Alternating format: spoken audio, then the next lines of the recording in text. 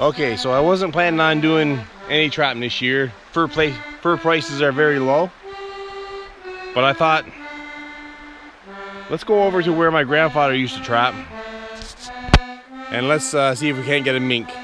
Yesterday I came out here, I set one trap. One trap only. And uh, today, we got Mr. Mink. Let's go take a look. So there's my mink. I got an Econobear with one of those uh, modified triggers that I that I do. I had made a little uh, den here for him. Wow, all the bait is gone. So something else came in and took the bait. Maybe I should put a few more traps down here, obviously. But, uh, oh, might be a little bit of bait left up in there. I might reset it. The springs on these Belle traps are good and strong. So as you can see, that uh, did a real number on them.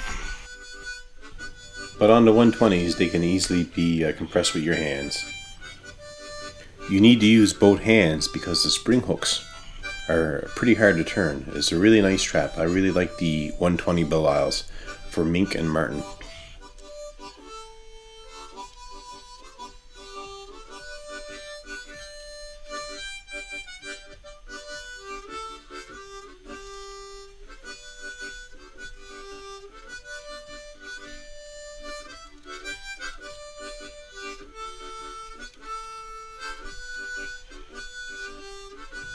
Those uh, little guide sticks they have uh, two purposes. First purpose is to uh, ensure that the jaw of the trap doesn't freeze into the uh, mud or the ground. And the second purpose is to allow a little bit of space so that the dog of the trigger is allowed to drop. When an animal walks onto the pan the dog can drop it has a, a free area a free space where it can fall into uh, so the trap fires and works as advertised. Just make sure that you have the uh, the trigger centered and then you just adjust the trigger so that something as small as a weasel could easily set it off. You don't want to get those little bait thieves uh, getting away with your bait. So if a weasel or a squirrel tries to get into my mink trap, I'll catch them. I'd rather catch a squirrel or a weasel than lose my bait to them. Couple of uh, guide sticks here. Just uh, move that uh, spring spring lock, spring hook, and uh, I'll just place the sticks through the springs of the trap so it doesn't interfere with how the trap works when it's when it's fired and it helps block the animal from going over the top of the trap. I want the animal to go through the jaws of the trap and not over it.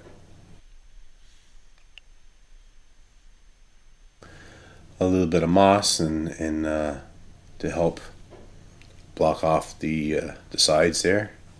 And I put these leaves over top of that gray pan because the gray pan is uh, very noticeable. And I just want to conceal the trap the best I can not so much from the animals, but from uh, from the humans that may stumble upon my traps.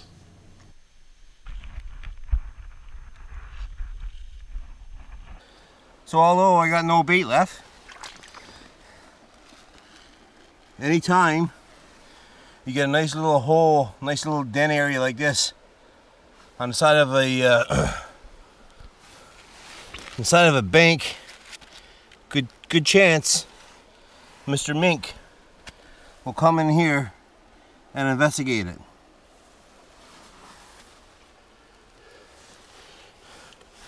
So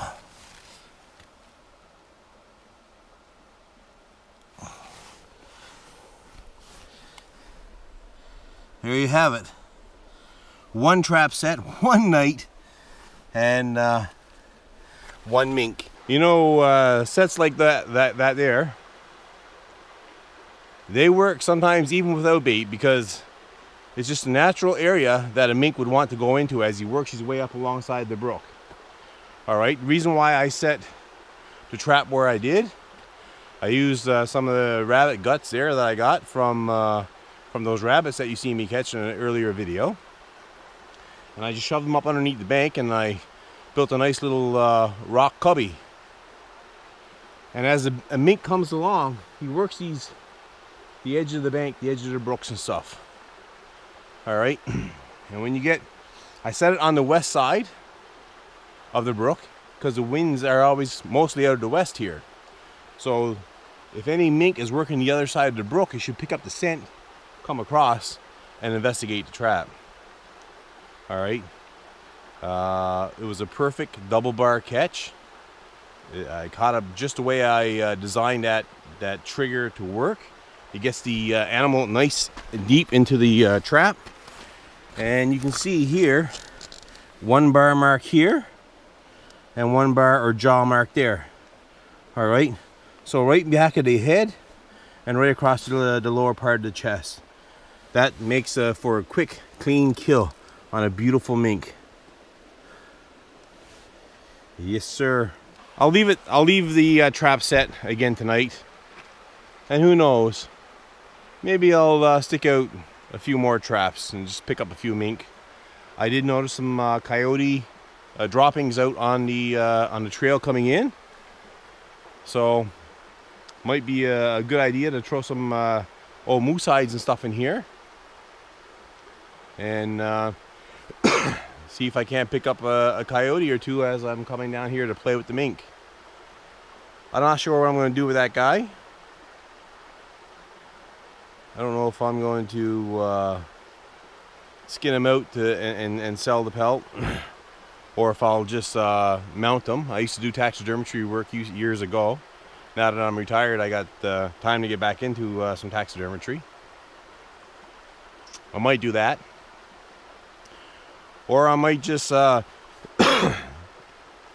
skin them and put the fur out and leave it uh, as a as a um, a wall mount type thing. But I'm not sure. I'm not sure if I'm going to get into uh, mink trapping or not. Uh, I feel pretty good about it. One trap, one night, and I said it, at, it was almost dark last night when I when I left here. I had to uh, turn the, the lights on for the bike so in less than 24 hours, I produced a, a fine male mink here on uh, on a brook that my grandfather used to trap on.